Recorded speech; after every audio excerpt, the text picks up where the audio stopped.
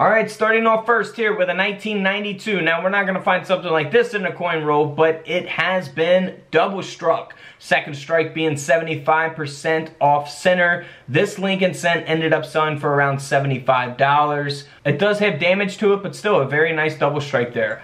Now here's a 1995 doubled die obverse. This coin is graded by NGC at a mint state 67 red.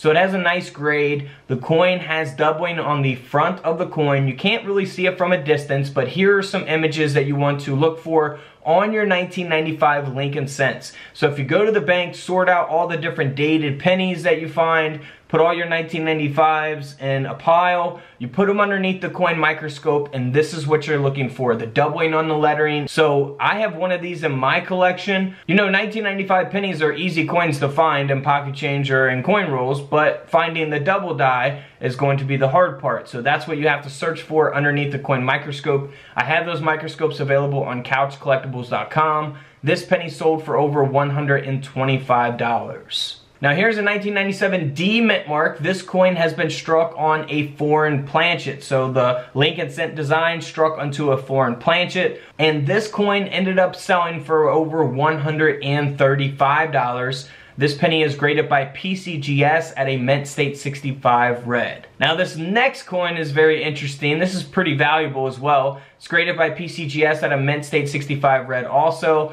and it has a fold over double strike. Uh, so look at that, man. The whole penny folded over there, double struck. Amazing type of mint error there. This penny sold for $960. Here's a 1999 D mint mark that has an obverse die cap, which we can clearly see in the images displayed. Now some won't be as extreme as this. This is a deep obverse die cap graded by PCGS at a Mint State 64 red. So the coin grading scale goes up to 70. This is at a 64. It's a very cool mint error. This coin sold for over $400. Here's a 2000 Lincoln Cent that has been double struck. So from a distance, you might not really be able to tell, uh, but if you look at the edges here, you can actually see the lettering. Even under the word Liberty, you'll see the lettering from the reverse. Uh, so it's a flip over, double struck, and flipped over. Uh, so you'll see the obverse design double struck here on the reverse around the rim of the coin. Uh, not like the normal double strikes that we typically look at. Some of them are very, very noticeable. This one not as noticeable. So always inspect your coins closely underneath those microscopes. This coin sold for over $114. Now here's a nice uh, example of one that you can see it much more clearly. It's a 2000 Lincoln Cent that has been double struck and flipped over. Uh, Mint State 62 red grade by ANACS here. Again, you can see the design from the reverse here on the obverse and uh, the obverse here on the reverse. Uh, so this coin ended up selling for $180. Here's a 2000 Lincoln Cent that has been double struck and it also has a really large indent there. This coin, graded by ANACS, sold for over $200. Man, that's a nice mint error there. Here is a 2000 Lincoln Cent that has been broad struck and has a partial brockage. Uh, this coin is graded by ANACS as well at a Mint State 64 red, and this penny ended up selling for around 90 US dollars. Now here's a very expensive coin. This coin sold for over $1,000 and it's because it is the Lincoln Cent design that was struck onto a Roosevelt dime. So a double denomination here, graded and authenticated by PCGS at a Mint State 67. Thousand bucks for that penny or dime. this is, uh, we, can, we can call it 11 cent piece. How about that?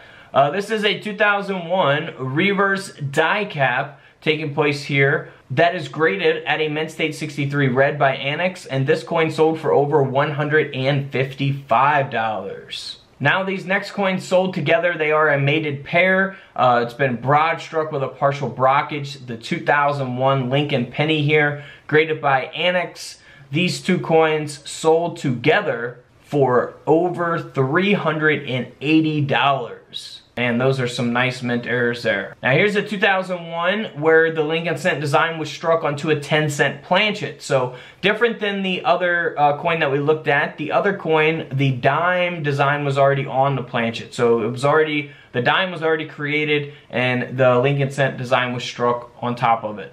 Uh, this case, it's uh, a blank 10 cent planchet where the Lincoln cent design has been struck onto a dime planchet. This coin sold for $660. Now here's a more modern coin. This is a 2015 D Mint Mark uh, Lincoln Cent. This is the shield reverse and it's been struck onto a defective planchet which we can clearly see here in the images displayed. This coin ended up selling for over $550. Can you believe that? $550 for that mint error there. Here's another 2015 Lincoln Cent, of course with the shield reverse, and we have a uh, split die here on the obverse. You can see that going all the way, that die crack going all the way through uh, the Lincoln Cent there in the middle, man. That is awesome. Uh, this coin is graded at a Mint State 65 red, and this coin sold for over $220. $222 to be exact. So very nice mint error there. Now here's a no dated Lincoln cent that is graded by PCGS. It is a mirror brockage, uh, so we won't see an obverse on this coin. You'll see two reverses there. It's almost like a double-sided coin, right? Uh, this penny ended up selling for over $1,100. $1,100 coin there. Now here's another no dated Lincoln cent that has been struck by a capped die. That is nice. You'll see the reverse looks normal. Here on the obverse is where, uh, you know, that die cap's taking place. Uh, this coin sold for over $110. Here's another no dated Lincoln cent where it has a reverse capped die and the obverse is misaligned, graded by NGC.